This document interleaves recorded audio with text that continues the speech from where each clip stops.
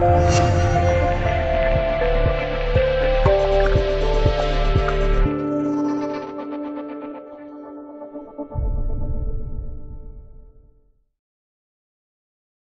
晚的男篮亚运会决赛，中国男篮最终战胜伊朗队夺冠。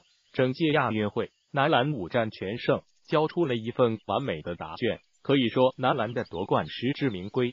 但偏偏有人不爽，他们就是淘汰赛首轮就被韩国送回家的菲律宾。就在男篮夺冠后，菲律宾网友突然出现，他们跑到了著名媒体 ESPN 五的男篮决赛视频下面留言：“那是我们的金牌。”中国男篮之所以总能夺冠，是因为他们一直在作弊，他们就是亚洲篮坛的梅威瑟。还有菲律宾人非常嚣张的表示，中国猴子又夺冠了，他们再次买通了裁判，站在领奖台最高处的本该是我们。显然，我们的历史比中国队更强，他们只是运气好而已。被打成这样了，还在嘴硬嚣张，除了菲律宾也没有第二个了。